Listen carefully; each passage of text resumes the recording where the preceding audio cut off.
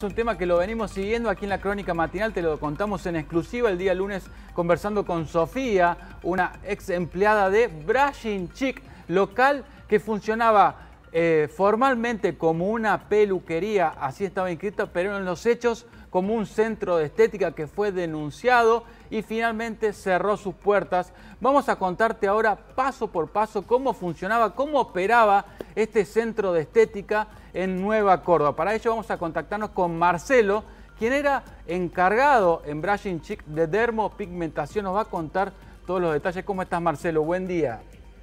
¿Qué tal? Buen día. ¿Cómo estás? Muy bien. Marcelo, ¿en qué año ingresaste a trabajar a Brushing Chic y cuál era tu función? Eh, disculpa, disculpa, ¿cómo? ¿En qué año ingresaste a trabajar a Brushing Chic Mira, y cuál era tu función? Esto fue a comienzo del 2018, a mediados del 2018 eh, y finalizando ahora en el 2021 prácticamente. ¿Y en ese momento qué tareas cumplías? Mira, eh, yo entré ahí como un empleado común. Eh, esto fue, me hicieron una entrevista un día también viéndolo por, por internet. Y me, me, llamaron, hice la entrevista, me gustó con respecto al tema de, del horario por necesidad también un poco, voy a decir, tener en cuenta que, que era un poco por necesidad, por cómo estaba todo, así que mm, en realidad a mí me llamaron de allá de, de La Rioja, yo soy de La Rioja, así que por ende ya se darán cuenta quién, quién soy. Eh, entré en el 2018 con la expectativa de, de, de, generar dinero y de hacer lo que me gusta, que es dentro de todo esto el aspecto de peluquería. Eh, no sé si quieren que les cuente más o menos un poquito cómo se manejaba el, local y demás. Sí, por supuesto. Querríamos saber también, entonces, vos, Marcelo, entraste también con tu función de dermopigmentación, de distintas funciones que se hacían con, con agujas, con jeringas, que van mucho más allá de una peluquería, ¿no?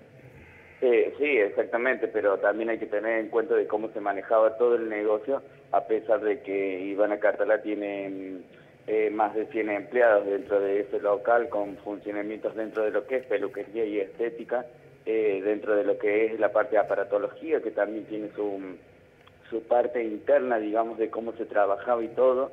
Eh, creo que van por mucho más allá por cuestiones de, de lo que es lo gravísimo que está pasando hoy en día y de lo que se está mostrando hoy día, que esto viene pasando, digamos, desde el 2019 eh, cosas a que, que, ella implementa dentro de lo que es su peluquería, porque el funcionamiento, teniendo en cuenta de que es Brasil Chica el nombre y que ha cambiado de nombre muchas veces, siendo que el local tampoco está en nombre de ella, eh, que esto, bueno, hay pruebas y todo lo demás. Cuando hablamos de ella, hablamos, Marcelo, de Ivana Catala, ¿lo cierto?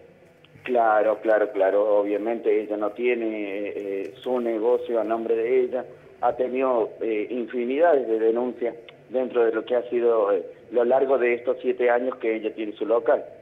Eh, a todo esto teniendo en cuenta de que las, o sea, las irregularidades que había dentro del local, tanto como comercial, eh, en cuanto al maltrato de, al empleado, las horas en las que se trabajaba, lo que se, la cantidad de, de o sea, de gente que trabajaba ahí que se iba sin cobrar, el porcentaje que pagaba acorde a, cada cliente que se trabajaba, que estamos hablando de entre un 10, un 12, un 15% de lo que se genera. Marcelo, eh, vamos a, Marcelo entonces para entrar a un caso concreto, microblending, que es una, un, un, tratamiento estético, no de peluquería, sino un tratamiento estético, que tiene un costo promedio eh, 5 mil pesos y cuánto lo cobraban en eh, Brushing Chic.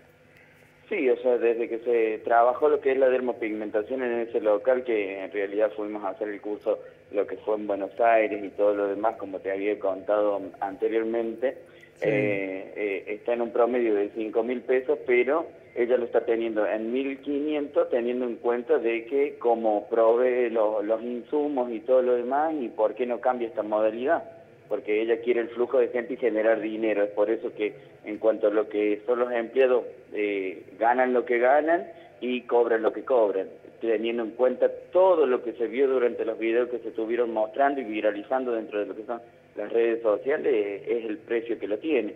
1.500 pesos, una dermopigmentación, en, en ningún otro centro de estética se ha visto eso. Marcelo, eh, quizás lo más grave tiene que ver con las agujas, por supuesto que otras infracciones a normas de seguridad y con la responsabilidad penal que esto significaría para los responsables en el caso de que se constate una, una enfermedad ¿no? por esta transmisión. ¿A vos te tocó ver concretamente este uso de, jeringas que ya estaban utilizadas? Sí, fue uno de los casos en los cuales yo mm, decidí tomar por, por ende mi renuncia era algo de lo que no estaba de acuerdo, algo de lo que sí eh, se hacía dentro del, local, dentro del local.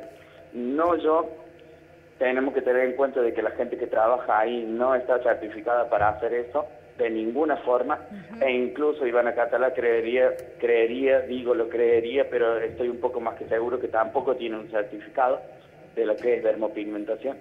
Em, o sea, un título, a eso es a lo que me refiero. Claro, claro. Eh, y, la gente no se daba cuenta de esto, ¿no? La gente no sospechaba de este manejo, nada, nunca. no, no se podía ver. Contaba eh, la, la chica el día lunes, siempre había alguien ahí al lado tuyo de lo cual no te permitía o no te dejaba hacer. Claro. Cosa que yo lo he visto, eh, se, ha tenido que comprar eh, un líquido esterilizante, las agujas se, las colocaban en, un tupper, tal cual como lo han dicho. Esto viene pasando desde directamente desde el 2018-2019, antes de que pasara todo lo que es la pandemia, ¿no es cierto? Marcelo, y cuando las clientas iban a quejar por esta situación, salían afectadas a través del tratamiento, ¿qué, qué realizaba Ivana? ¿Qué, ¿Qué hacían ustedes como empleados?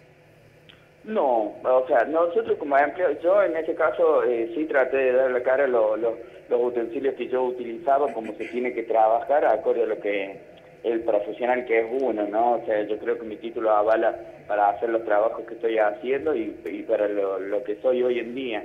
En cuanto a los clientes que se quejaban, era decir que la empresa era o de Buenos Aires o de decir que la empresa se va a manejar con, con la administración cuando pedían el reintegro del dinero, el dinero nunca se reintegraba.